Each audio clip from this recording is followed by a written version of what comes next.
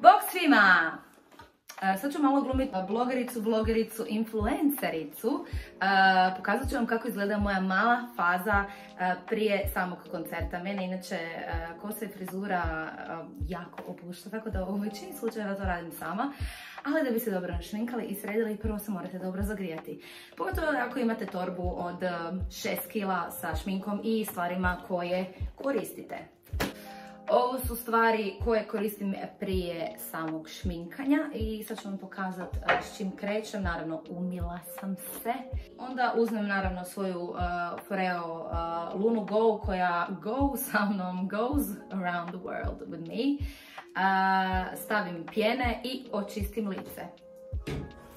Znači ona pulsira, što je dobro za tonus, ali ono što je najvažnije, onako nekako lijepo ispolira cijelo lice i koža vam je puno, puno, puno, puno mekanija i glađa. Ok, kad sam to obavila, imam svoj hialuronski serum koji stavljam svaki dan bar dva puta.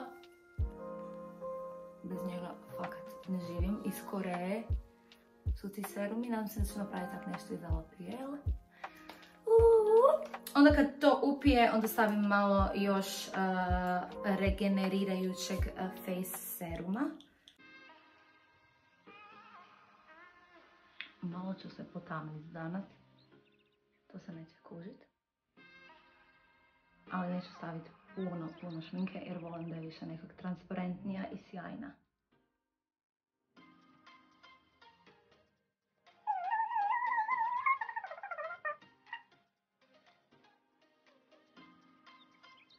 Sad ćemo malo obrvic. Obrvic da sredimo.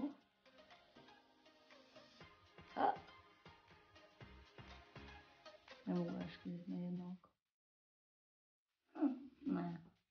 Nekak nam inspiracije s očima, krećem s ustima, preskačem e, i krećem na usta.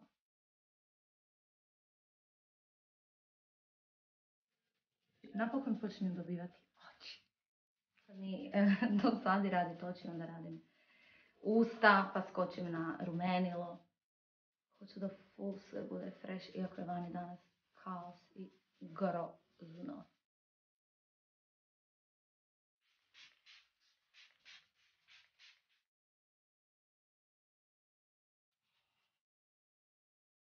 Evo, sad se već osušio i na licu i na dekolteu.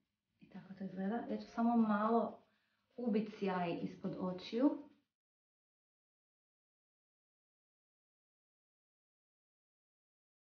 Evo ga to je to. Mislim da smo pri kraju.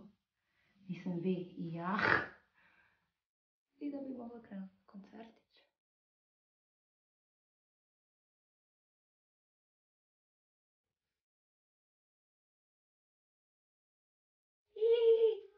I, hvala!